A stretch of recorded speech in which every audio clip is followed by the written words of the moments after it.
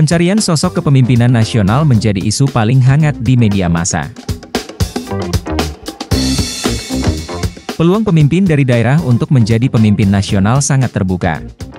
Terutama bagi figur yang sudah mendapat pengakuan dari publik untuk menjadi pemimpin nasional, hendaknya harus memiliki cara berpikir yang benar dalam konteks nasional maupun daerah dan memiliki keberanian maupun wawasan yang komprehensif untuk memajukan daerah. Pengetahuan Pemimpin daerah harus mempunyai pengetahuan untuk mengelola daerahnya, dari persoalan ekonomi, pembangunan manusia, pengelolaan keuangan, hingga pengelolaan sumber daya manusia birokrasinya. Mempunyai sense of entrepreneur sehingga mampu mengembangkan usaha BUMT dan usaha-usaha baru lainnya. Berbagai aset pemerintah daerah dapat terkelola dengan lebih baik. Sehingga APBD tidak lagi menjadi tujuan untuk memimpin daerah, karena melalui tangan dinginnya justru membuat APBD menjadi bertambah. Hari ini kami tentu dibantu oleh BI ya secara bersama-sama dengan Kadin ya. Kita mencoba mencari format dan sekaligus menawarkan potensi investasi yang ada di Jawa Tengah. Apa sih fasilitas yang ada, di mana tempatnya, sehingga kita bisa memproyeksikan ada berapa calon investor yang ada, baik itu dari uh, luar negeri maupun dari dalam negeri. Dan tentu saja secara keseluruhan kita harapkan di tengah situasi yang sulit ini ya yuk dong kita gerakkan seluruh kekuatan dari Jawa Tengah agar bisa berkontribusi untuk pertumbuhan ekonomi secara nasional.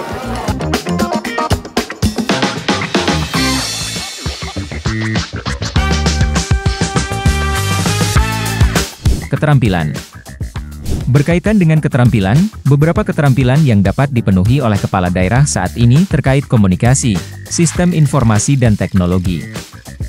Dunia saat ini berada dalam era tanpa batas. Menjadi pemimpin di era industri 5.1 harus mampu menjual daerahnya, tidak saja kepada investor lokal, tapi juga kepada para investor asing. Ini ikhtiar kita untuk membangun digitalisasi. Tentu tidak cukup dengan statement, tapi perlu menyiapkan infrastruktur dan data center ini kita uh, perlukan untuk menghimpun seluruh data yang ada storage-nya ada di sini.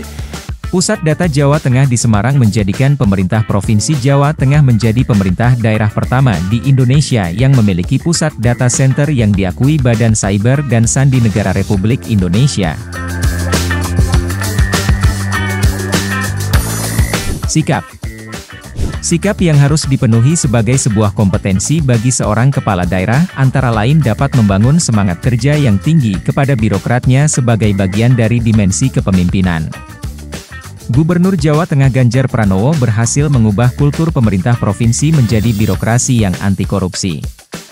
Apa yang dilakukan Ganjar tak sekedar reformasi, melainkan sebuah revolusi karena perubahannya menyeluruh di semua bagian. Seluruh kabupaten yang belum ada mall layanan publik segera buat. Itu tidak sulit, ya.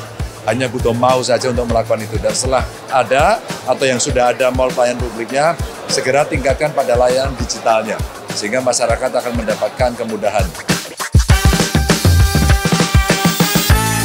Aparatur pemerintah adalah pelayan rakyat yang dibayar oleh uang rakyat. Harus bisa melayani dengan amanah dan bekerja untuk rakyat dan dipercaya rakyat. Menjadi seorang pemimpin yang baik itu tidak dilihat dari keinginan tetapi dari konsistensi menjaga amanah dan melayani masyarakat.